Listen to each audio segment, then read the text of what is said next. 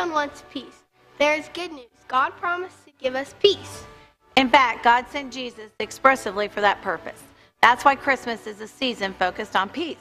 We will find peace, not as the world gives, not even as a kind we might think we're looking for, but when we have a relationship with Jesus Christ, we will find peace. Long ago, the prophet Isaiah proclaimed God's promise to send someone who would be the Prince of Peace. In Isaiah 9 6, we read, For to us a child is born, to us a son is given, and the government will be on his shoulders. And he will be called Wonderful Counselor, Mighty God, Everlasting Father, Prince of Peace. God fulfilled that promise. He sent us Jesus Christ, his one and only Son, into the world. He is the promised, the Prince of Peace. Let's pray. Father God, thank you for keeping your promise and sending your Son, Jesus Christ, into the world. In him, we find our peace. Amen. Merry Christmas.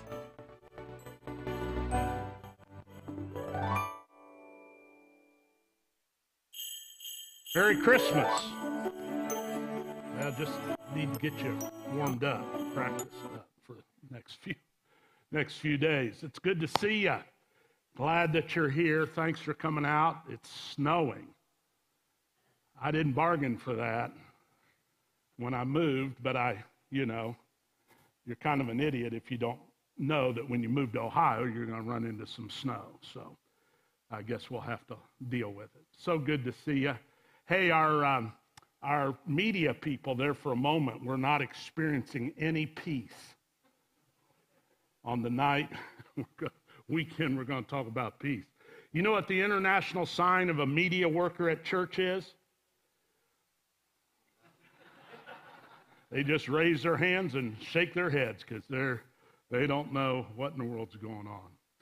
It is uh, it is good to see. I wanted to remind you uh, before we get into the message about our Christmas challenge. That uh, our Christmas challenge is where we all uh, take a few dollars um, that we might use on ourselves or our family, and we donate it to a great cause. And this year, that cause is Raising Arrows.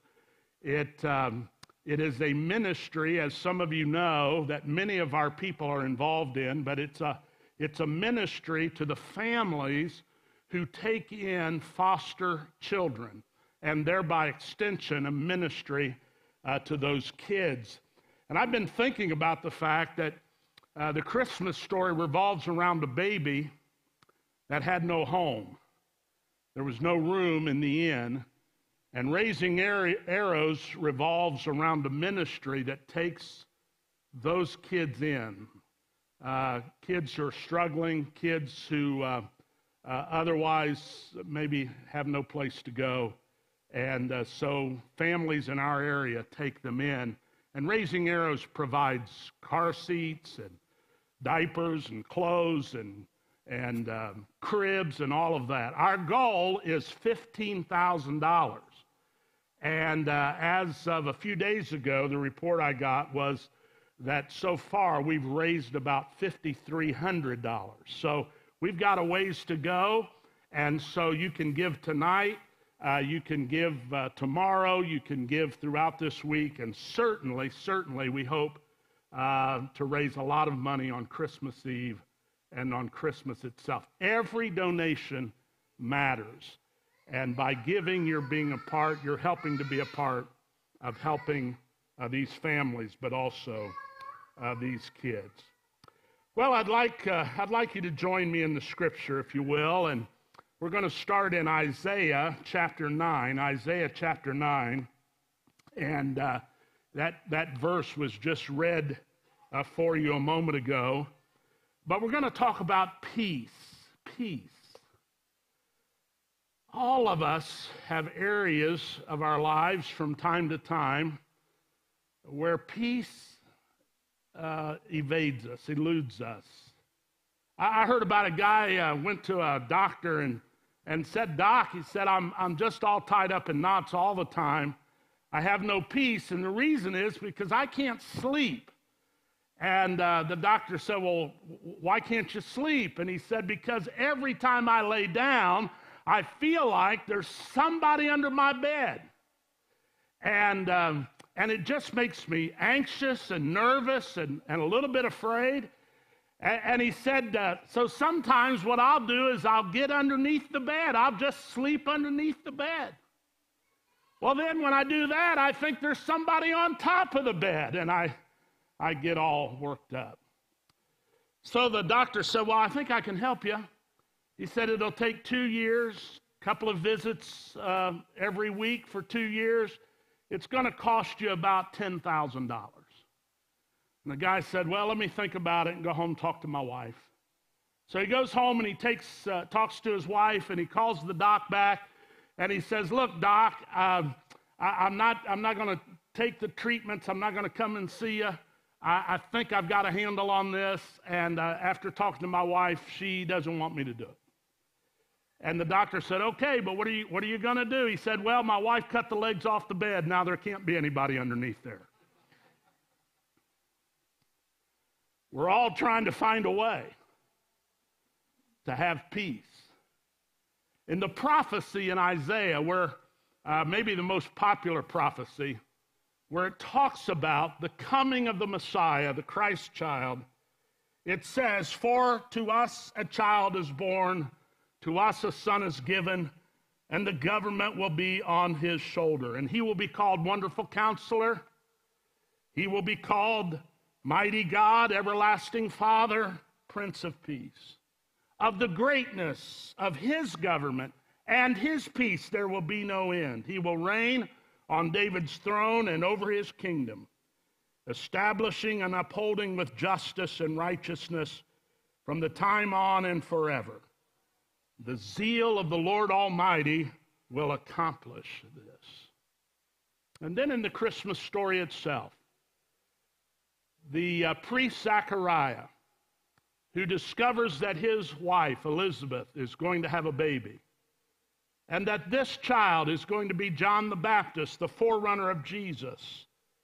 In chapter 1 of Luke says, And you, my child, talking to John the Baptist, will be called a prophet of the Most High, for you will go on before the Lord to prepare, prepare a way for him to give his people the knowledge of salvation through the forgiveness of sins because of the tender mercy of God, by which the rising sun will come to us from heaven to shine on those living in darkness and in the shadow of death.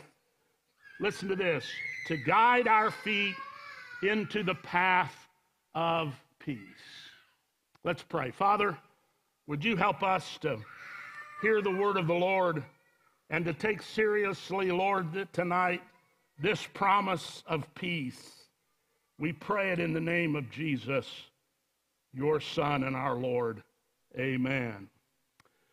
When I was uh, preparing to move, I, uh, I was going through my library and kind of deciding which books to keep and which books to take to the used bookstore and which books to give to other pastors. And as I was going through uh, hundreds of books, I, I came across a book that I'd read probably 30 years ago. I was a part of a book club at Georgetown College in Kentucky. And, and uh, the title of the book that still was on my shelf was Thriving on Chaos. Thriving on Chaos.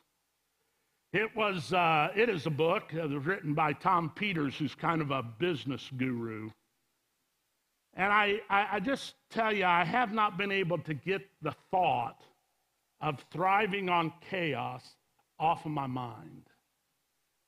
Uh, the, the world in which Jesus was born was a world of chaos. I mean, his very birth created enough chaos of its own. And yet, it was a world that was politically bankrupt. It was a world that was spiritually struggling. It was a world of chaos. But the world in which we live trumps it about 10 times or 100 times. I mean, we, uh, we don't have to be convinced. None of us has to be convinced that we live in a world of chaos. There's anger and selfishness and mistrust and division. And that's not to mention the, geopolitical crises or the economic chaos that we're facing, and certainly not the social chaos that is so prevalent in our world. And I can affirm to you tonight that we also live in a time of theological chaos. And Christmas comes into this world of chaos and stress and difficulty and promises us peace. peace. The question is where is peace? Where is this peace that Jesus has promised us? Where are we, are we to find it in all of this chaos? In fact, another question is what is this peace? The Hebrew word used for peace, which is also used oftentimes in the New Testament, is, is the word shalom. Shalom, um, it might be a familiar word to you, but it, it, it is a word that's oftentimes used. Peace. Some churches will have a, a time during their worship service where they'll pass the peace, and oftentimes people will use the word shalom. It is a greeting or a blessing of peace into someone's life. But like a lot of biblical words, it has, uh, it, it has a deeper meaning than just peace. It can mean harmony. It can mean wholeness. I, I wish for you, I bless you with wholeness, completeness, welfare, tranquility. All of those are words that can be described as shalom. When I was doing my research this week, I, I uh, found a, a, number of commentaries, a lot, a number of biblical scholars use the word or the, the definition of peace as well being. Well being.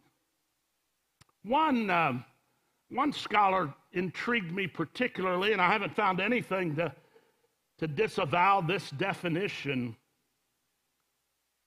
Somebody said that the word shalom means more than well. More than well. More than temporary, more than than shallow, more than just, I'm going to hang on by the skin of my teeth.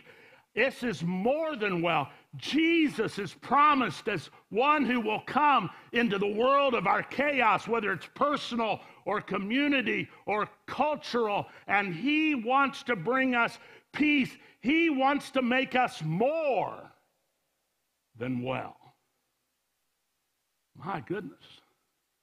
I want to I want to think about that. I want to embrace that. I I want to understand that in this life and certainly in the life to come, I can live in peace. And peace, um, peace really is a bookend to the life and ministry of Jesus. He, um, says, he's going to lead us in a path of peace. The prophet says that he will be the Prince of Peace. And then Jesus himself, at the end of his life, Jesus says, Peace I leave with you, my, my shalom I give to you. Not as the world gives, give I to you. Do not let your heart be troubled, neither let it be fearful. So, from birth to death, and beyond.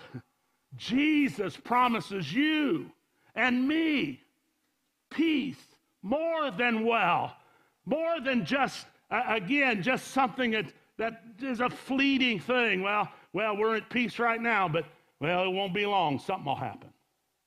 I'm just waiting for the other shoe to drop. I, I'm just waiting for somebody to do something stupid and cause me a lot of problems. That's not, that's not what Jesus promises. That's not what the scripture promises. Jesus' birth offers to us peace that helps us to endure and to become victors and not victims, not just a means of hanging on but a, the ability to be more than well. I, uh, I think the Lord brings us peace in all kinds of forms and fashions. And I think, like so many gifts of Christmas, we have to be willing to receive it and accept it and make it our own. Let me, let me just talk to you about some ways that Jesus wants to bring us peace. The first is this Jesus wants us to have peace with God. Peace with God. I, I know, I, I, know we want to be able to handle our, our, uh, our finances and our health can cause chaos and, and our relationships with our family can create conflict. But can I tell you, the worst, the greatest conflict in our lives is when we are out of step with God. When we are out of fellowship with Him, when we are out of harmony with Him, when we are living according to our own desires and our own will, all of that causes chaos and conflict in our lives. And, and I, would just, I would just say, with all of the uh, passion and conviction that I can tonight, if you are out in conflict with God and out of peace with God, most of the rest of your life is going to be in conflict and chaos. The Bible says we all have been separated from God. At birth, we are separated from God. Now, I understand that nothing can separate us from the love of God. I understand He loves us no matter who we are, where, we, where we've been, what we've done. He loves us. I understand all of that. I understand that He's pursuing us constantly. But there's always going to be a war between what His will is and our will is if we don't submit to His love and grace and mercy. If we don't believe in Him, if we don't trust Him, the Bible says we've all sinned and fallen short of the glory of God. And it is that sin that causes separation from fellowship with Him. And the Bible says puts us at odds with Him. We're at odds with His love for us, we're at odds with His plan for us. And in that sense, in that very cosmic sense, there's a barrier between us and God. Look what Paul says, the Apostle Paul says about that. In Ephesians chapter 2, he says, For he himself is our peace. He has made the two groups one and destroyed the barrier, the dividing wall of hostility by setting aside in his flesh the law with its commandments and regulations. His purpose was to create in himself one new humanity out of the two, thus making peace. And in one body, to reconcile both of them to God through the cross, by which he put to death their hostility. He came and preached peace to you who were far away, and peace to those who were near. For through him we have access to the Father by one Spirit. Praise God. Thank the Lord. Paul says Jesus came to reconcile us, to give us peace, to tear down the dividing wall. And his Holy Spirit accomplishes that in our lives. I, am excited to, to share with you today. There's multiple ways and multiple things that happen when we accept Jesus as our Lord and Savior that bring us peace. The first is forgiveness. He forgives us of our sins. That's exactly what Zacharias sang or said to John the Baptist, yet unborn, about why Jesus was going to come. He is coming to forgive us of our sins. A lot of us would like to deny that we're sinners or we've sinned. We like to call it a mistake or a difficulty or a problem.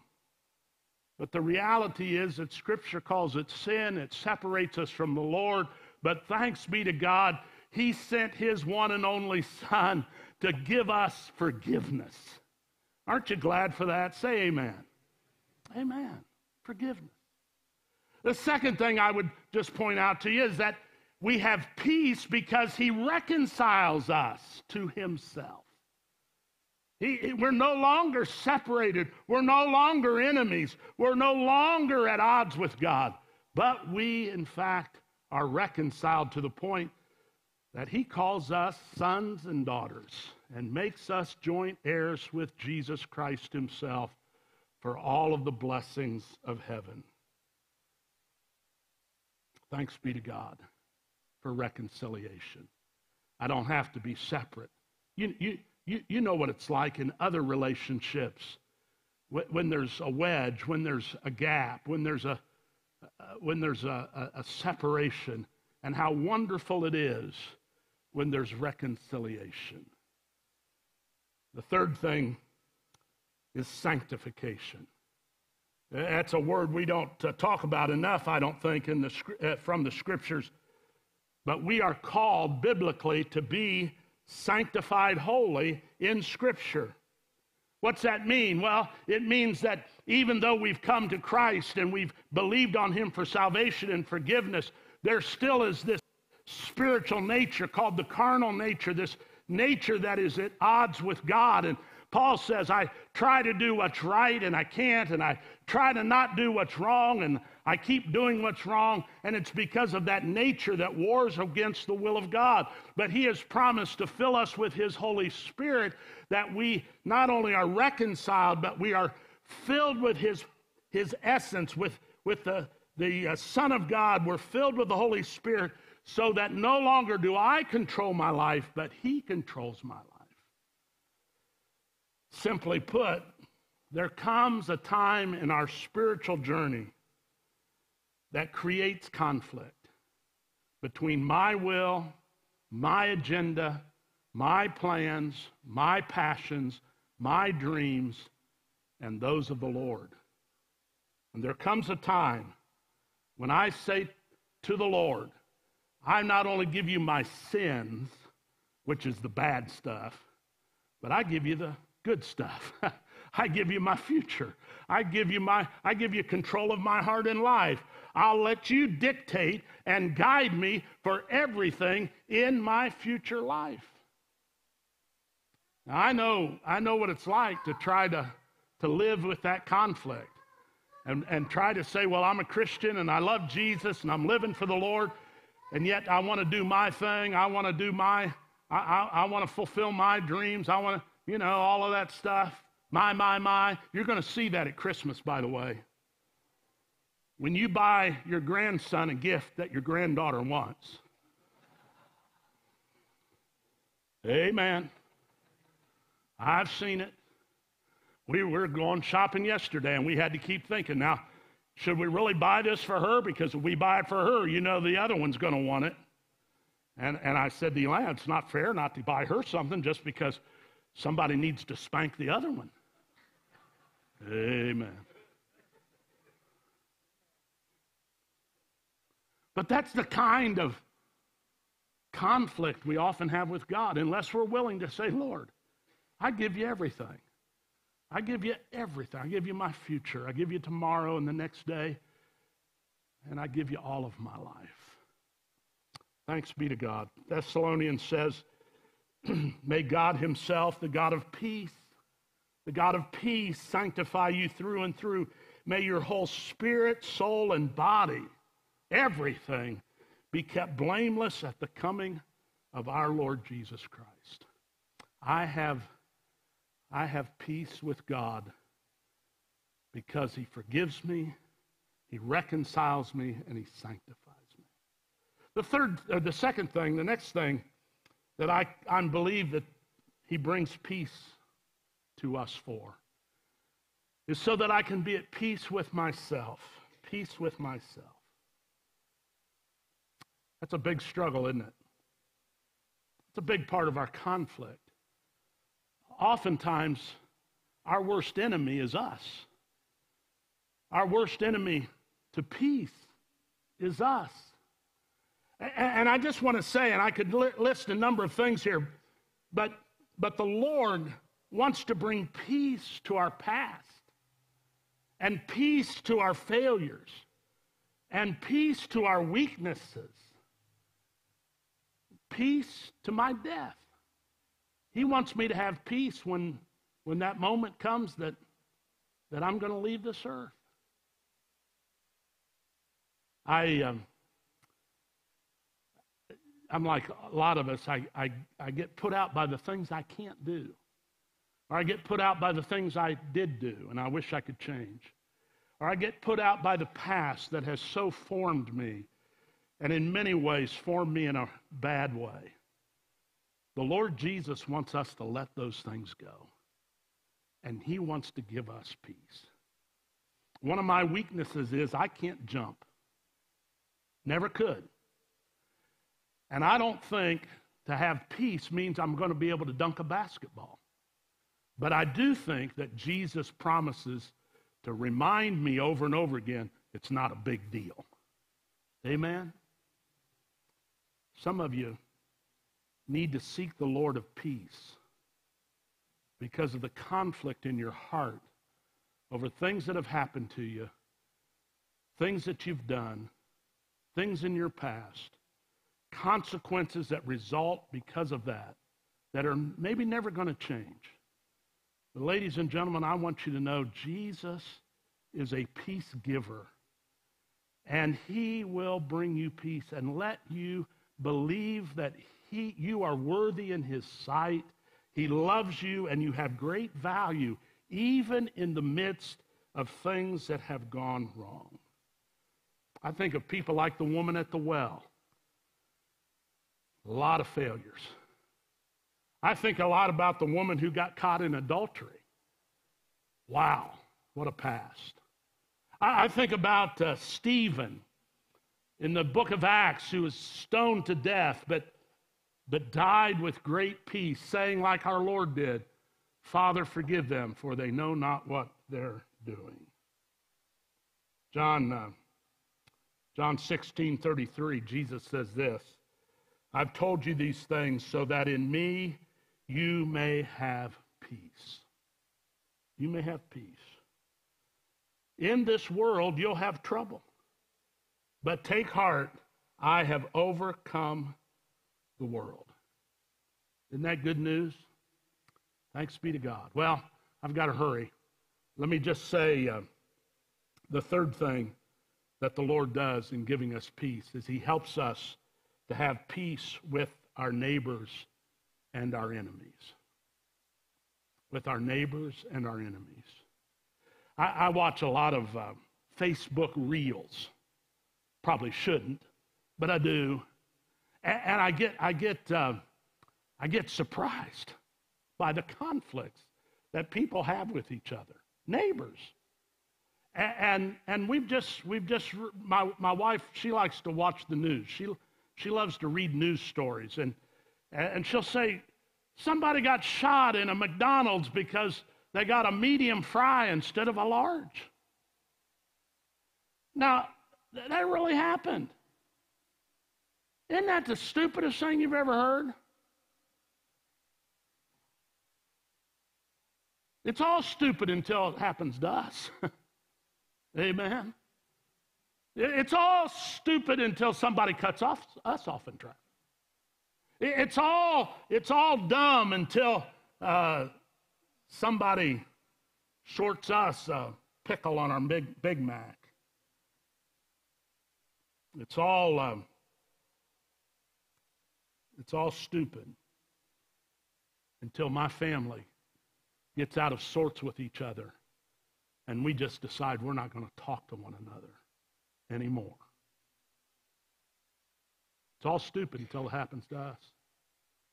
And the Lord Jesus Christ, in all of his love and all of his mercy and all of his grace, he wants us to extend peace and have peace with others. He wants us to have peace with those who let their dogs do their business in our yard. Amen. He, he wants us to have peace with those who are going too slow down the highway. He wants us to have peace with those who really, really do cause us conflict and chaos. He wants us to remember these are the sons and daughters of the Most High God. The book of Hebrews says, Make every effort to live in peace with all men and to be holy. Without holiness, no one will see the Lord. See to it that no one misses the grace of God and that no bitter root grows up to cause trouble and defile many. We need to make every effort to extend peace or have peace with our neighbors and even our enemies. And Romans 12, 18 says, If it is possible, as far as it depends on you, live at peace with everyone. Wow. That'll preach. Amen. that'll, that'll convict us. Live at peace with everybody. Well, finally, let me just wrap up by saying, and I haven't, I haven't said this enough over these weeks, but all the things that we talk about in Advent hope, faith, joy, peace are meant for us not only to receive, but to extend to others. And the Bible says that blessed are the peacemakers. We are to be peacemakers. We're to help people get over their conflicts. We're to help people get to a place of peace in their own lives. And I would hope and trust that at Christmas, we would not only recognize that Jesus gives us peace, but what he gives us, he expects us to help others with, to give to others. The praise team's going to come back in a moment, and uh, and as they come, and I'm going to come and give a blessing, but uh, as they come, I, I just want to ask you these questions. Have you made peace with God? Genuinely, have you received his son, Jesus, into your life? If not, today is the right day to do so. For many of us who have received him, we, we still don't have real peace we, um, we're in conflict with others. We have difficulties in our relationships. And, um, and I just want to ask you today could you, before you left this building, just bow your head and whisper a prayer God, help me to have peace about this relationship. Help me to have peace with my neighbors and my enemies, or even members of my own family. And then finally, let me ask you do you have peace about your past, about your weaknesses, about your frailties, about your difficulties? God, even in this place, can begin to hear your prayer for peace. May it be so. In the name of the Father, the Son, and the Holy Spirit, praise God, we can have peace. Amen.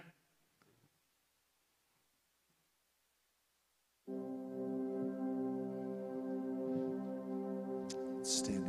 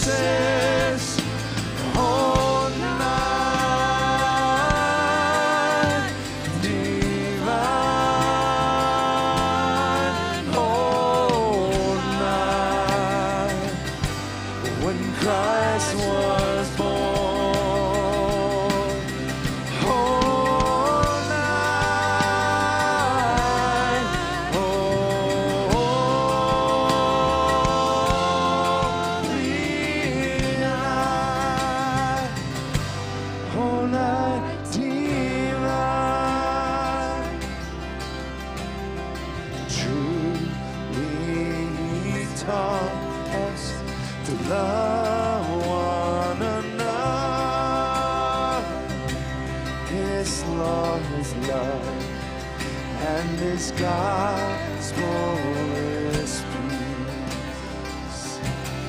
Yeah. Chains shall he break,